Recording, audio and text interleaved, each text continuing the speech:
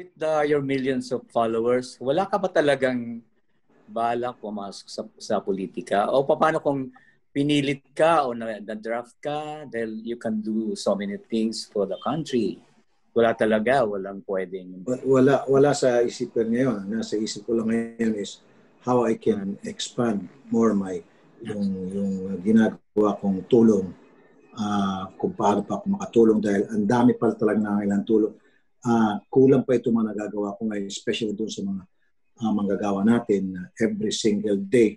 Marami po talaga sa kanila ang naabuso at naapi. So, sapat na yung pagiging public service guy ko rito sa media. Uh, happy na ako. Hindi ko na kailangan pa siguro uh, pumalaw sa politika.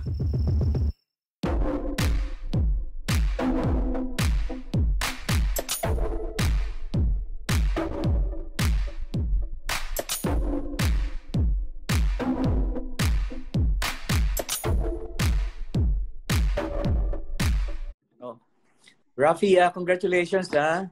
Salamat. In salamat. your new uh, venture. Oh, thank you. Thank you. Oh, wala pa akong napapak na papanood na full uh, episode. Pero yung yung teaser, ang isang hmm. nakakaano doon, yung mag-ina na sinampal ng anak ng chinelas yung nanay. Nakakaano yun? Ano? Yes. Oo. Yun. Medyo nakakain ng ulo. Oh, special. Mm-hmm. Anak, binastos yung kanyang nanay dahil lamang sa sushi. Mm-hmm. Mm-hmm.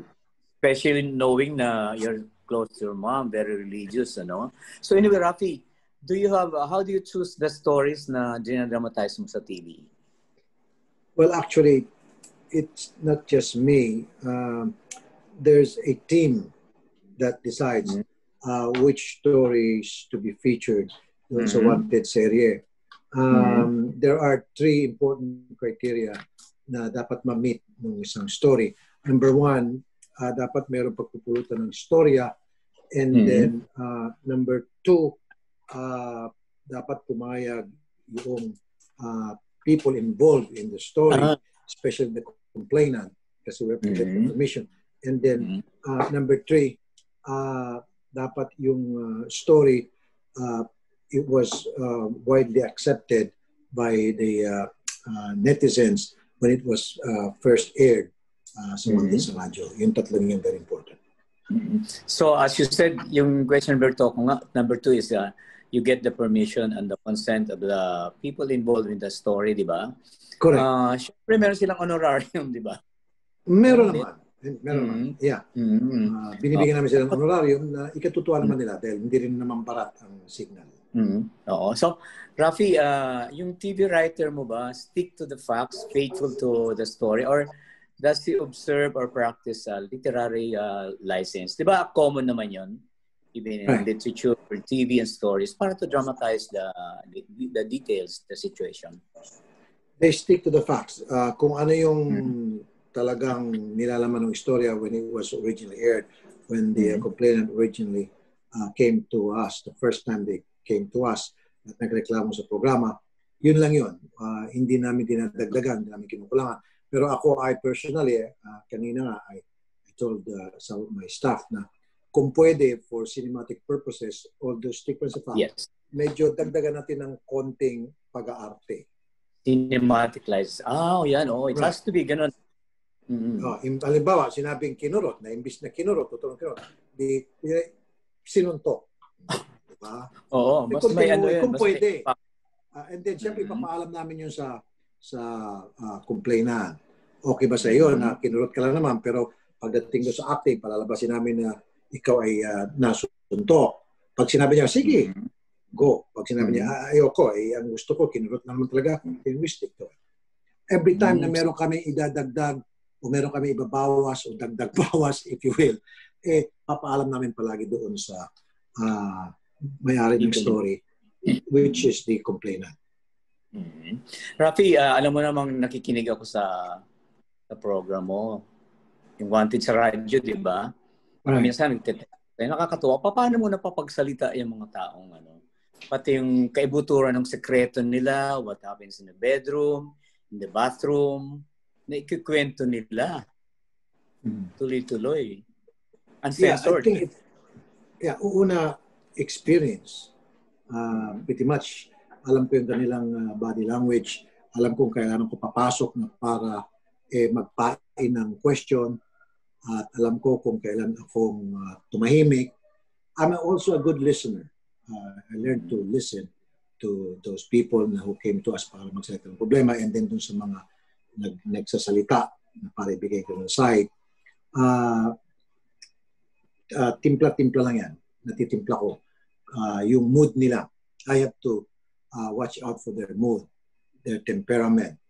Uh, mm-hmm. uh, and then kapag uh, natsempuan ko yun, then that's the only time. Kapag nakuha ko yung timpla na yun, that's the only time that I can extract the information that I wanted from them.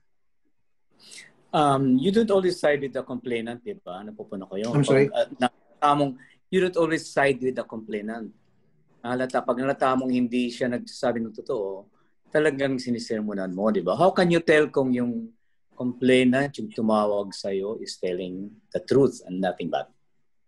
Correct. Uh, maraming beses na kung uh, napapanood mo madalas yung mga show ko uh, na pinapalayas ko ang isang complainant, pinagagalitan ko.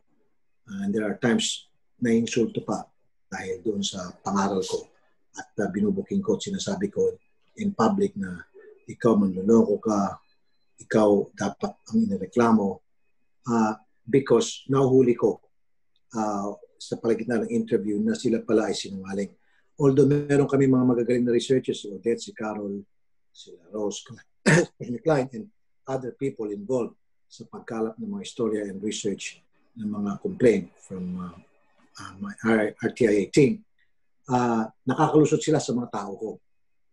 Nakakalusot. Pero pagdating sa akin, uh, siyempre meron naman tayo more than uh, two decades na experience uh, pag-iimbestiga, pagtatanong. So nahuhuli ko sila. Yung pag Rafi, ko, uh, boom. Mm-hmm. Rafi, could you name uh, one or two episodes na talagang napaiyak ka o nagalit ka talaga doon sa kwento? Although ang dami, hundreds na. Yes. Actually, thousands na eh. Thousands, yeah. Oh. Yes. Kung umpisa natin from the get-go up to now. Years. Mm-hmm. Years na kasi 20 years eh. From the beginning, mm-hmm. it was, I think, 1998. It was 97. Mm-hmm. Uh, I started. Hindi ko mabilang. Lahat sila habang tumatagal, lumalala ng lumalala, gumagrabe ng gumagrabe. Pero ang, uh, kung if we're gonna talk about very recently, eh, yung pulis na si Nuesca na ah, rin niya harap-harapan yung mag-iina. Point blank. Mm, sa tar- mm-hmm. Yes. Yun talaga nagpainit ng dugo ko. Um, walang words na pwedeng ma-describe yung galit ko at kung pwede ko lang pagmumurahin on uh, on air yung taong yun which bawal naman. Diba? And maging yung mga netizens galit na galit din. Sobrang galit.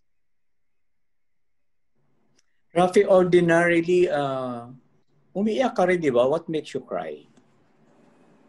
Well, Kasi sa mga pag Rafi Tulfo, parang... Hmm?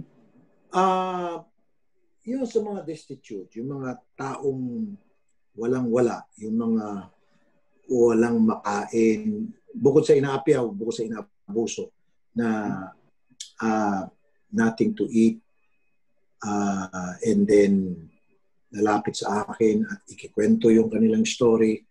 And then, sa awa ko, hindi ko alam na lumuluha na pala ako. And then, napapabunot ako ng wallet. Nabibigay ko na yung pera na uh, later on sabihin ng mga kasama ko, sobra ata nabigay mo doon, sir. Ah. Totoo yan. In fact, Oo. sasabihin naman sa Pamasahe. Tama na sana sir yung 20,000 eh, ay, wala eh. Nabigla ako. Bigay ko 50 sa sobrang awa ko. Nadudoble ko. Kuminsan, eh. 300,000. Yes. There was a time mm-hmm. na 300,000. 500,000 pa. Ganon. Mm-hmm. Ganon ako eh. Pag naawa ako, kasi galing talaga sa puso yung, yung awa ko mm-hmm. at yung pagtulong sa kapwa. Mm-hmm. Rafi, in real life, are you are stout-hearted as your public image? Kasi pag, as I said, pag Rafi Tulfo, di ba parang yes. Yes. Oo. Well, well pag hindi ka uh, naman pag, softy ka ba? Uh, in, in person, I'm a nice guy. Mm-hmm. Okay, I'm mm-hmm. very approachable. I'm easy to mm-hmm. talk to. Pero pag sa mm-hmm. uh, on air, I have to project that image that I'm strong, that I can flex muscle, I can mm-hmm. uh, collide with you head on, a tooth mm-hmm. for a tooth, an eye for an eye. I have to speak mm-hmm. the language you, you understand para doon sa mga complainant. Kasi kung maglalamya-lamya ka, then you cannot get the message across at hindi mo makukuha yung gusto mo at hindi mo mabibigyan solusyon yung isang problema nilapit sa iyo lalo na pag masaya lang. And I'm talking Dapat, about those abusive people not being complained. Yeah. Dapat fearless, no? So, exactly. Rafi, uh, I know that you and your brothers, Mon, si uh, Erwin, uh, you brothers were brought up by a very religious mom and a military trained um, father, no? Right. Are you raising your children with a combination of uh, your mom's style and your dad's style? Religious and military trained? May chapel ka pa rin na pinakabahay mo, di ba? Yung uh, my mom's style, yes, but my dad's style, no. On the Why contrary. Not? Mm-hmm. Because mahirap yung dinanas ko sa father ko. Nabubugbog ako, nasasapok ako, uh, namumura ako, natatadyakan ako, nakikwelyohan ako, nababatukan. Mm-hmm. Lahat ng ginagawa ng isang opisyal sa kanyang sundalo kapag nagagalit si opisyal dahil nag, si sundalo ay minilabag na uh, code uh, sa militar, mm-hmm. ginagawa ng tatay namin sa amin, mm-hmm. sa akin particular. So I don't want that to happen to my children ayaw kong danasin, danasin yun ng mga anak ko dahil alam ko ang hirap. So ako, ang style ko is diplomacy. Kinakausap ko sila. Kapag hindi na sa pakiusap din, alam mo yung stand in the corner na ikaw ay diyan ka lang sa corner at huwag ka umalis dyan and then yung hindi ka pwede lumabas, mabawasan mm-hmm. yung allowance. It works. Mm-hmm. mm-hmm. So Rafi, what is it like living a dangerous in quotation marks life? How do you deal with uh, may mga death threats, uh, if any. Parang sanay ka na sa di ba? Eh, yung sabi nila, I eat uh, death threats for breakfast. Uh, medyo totoo yun. Na, na, nasanay na siguro ako kasi kung palagi mong isipin yun, eh, hindi ka na makakapagtrabaho, hindi ka na makakilos. Although, I take precautionary measures like carrying a uh, licensed uh, gun and uh, uh, sometimes I have security with me na para masiguro na I can do my job uh, without worrying uh, somebody would stab me in my back. Aside from a gun, licensed gun, and uh, I think a rosary, what else do you carry in your bag every day? Ano ka mga bag? Uh, or... Cell phone. I don't live without. I don't leave home without a cell phone. Like mm-hmm. like you and me, like everybody mm-hmm. else. Mm-hmm. Yeah. Mga vitamins. And then of course, wallet with money. so, Why? No, with money ha? Because, because kailangan ko mamigay araw-araw ng pera sa mga nakikita ko diyan lumalapit sa akin. There are times na I give, so many times, so many instances, I give money to people na hindi ko na kailangan pa i-on air na I know na makakatulong ako sa kanila, makatulong ako sa kanilang pamilya. So, every day yan, nag-shell out ako ng money to people na I know they deserve help and hindi na kailang pa on air. Rafi, you have so many activities, radio, ngayon TV, and uh, crime fighting. How would you describe a typical day in your life?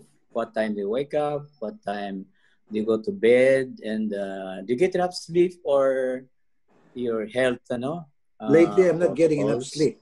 Uh, I get up at 5 o'clock mm-hmm. in the morning, and then after I get up, I drink uh, two glasses of water, and then I read, mm-hmm and then after I read mm. uh, less than an hour, and then I hit the treadmill, uh, 30, 45 minutes, and then I do some stretching, and then after that I go to work, and then I talk to my staff, uh, brainstorming uh, regarding the stories that's going to be featured uh, uh, either in action, and then after I do action, I go to lunch, and then come back to lunch. I talk to my staff again for the stories, brainstorming that will be featured sa One Day sa Radio.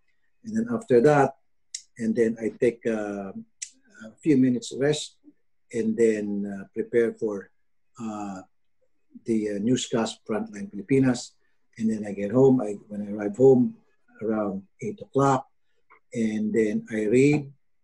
And then after I read, I eat, excuse me, eat dinner.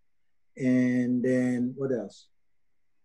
And that's it. Uh, oh, it- oh, oh, I, I, I, I, I, uh, I uh, uh, scan yung mga messages. Uh, this is very important, and this, this is, this is done every single night.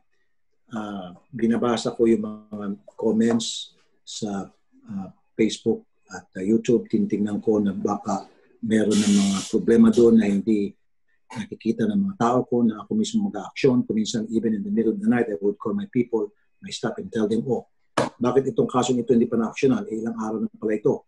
At nire-remind tayo ng mga netizen. Things like that. I get involved. Ako yung tao na hands-on talaga. I, I, I micromanage, unfortunately. But that's my style. Yeah, it's all work and no play. How do you pamper yourself? How do you relax? Do I pamper myself?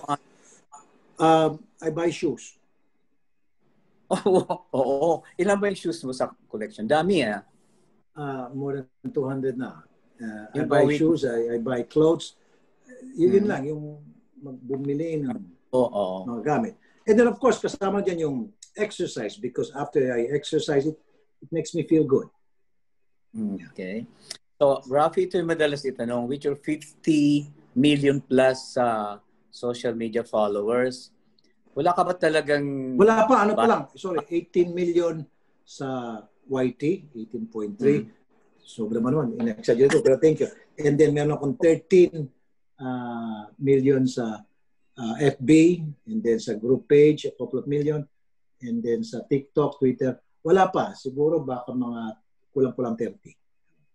Ah, okay. So, with the your millions of followers, wala ka ba talagang balak pumasok sa, sa politika? O paano kung pinilit ka o na- na-draft ka dahil you can do so many things for the country? Wala talaga, walang pwedeng... Wa- Wala, wala sa isipan ngayon. Nasa isip ko lang ngayon is how I can expand more my yung, yung ginagawa kong tulong ah, kung paano pa ako makatulong dahil ang dami pa talaga nangailangan tulong. Ah, kulang pa ito mga nagagawa ko ngayon, especially doon sa mga ah, manggagawa natin na every single day. Marami po talaga sa kanila ang naabuso at naapi. So, sapat na yung pagiging public service guy ko rito sa media. Ah, happy na ako. Hindi ko na kailangan pa siguro ah, pumalaw sa politika. Two more questions, Rafi. ah. Your life is colorful and full of drama, di ba? Hmm. So, ilang episodes yung... Kasi colorful ang buhay mo, di ba? Yeah. Action action drama yon So, pag dramatize mo sa TV, drama anthology mo yung buhay mo, ako ilang episodes kailangan yun? Marami, no? Oh, kung buhay ko? Ah, Mm. I don't know. Ah, hundreds? And then, sino gusto mo mag-portray ng Rafi Tulfo? Oh, Three choices. anybody. Anybody. Basta kaya lang niyang ah, gampanan ah, ng tama yung style ko, yung ah, pagkatao ko, alam niya yung character ko, then anybody. I don't have anybody in particular. Choices. Nobody. So one last question, Rafi. If you were not the Rafi uh, Tulfo today, what would you have been? Ano, ano, ano, ano sana si Rafi Tulfo ngayon kung hindi ka naging ganito ngayon?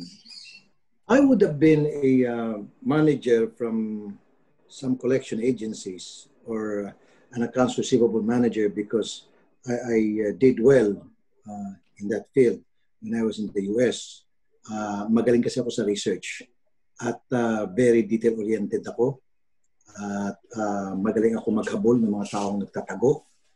At uh, madali ako makaamoy sa mga taong nanluloko, nagsinungaling. I think I would have been a uh, maybe a vice president for a uh, collection Oo, agency ayan. for some hospital accounts receivable kasi Mhm. I, I was. I, I work in a hospital in in the US uh, two Mhm. three hospitals Hmm. Okay. Thank you, uh, Rafi. thank you Ricky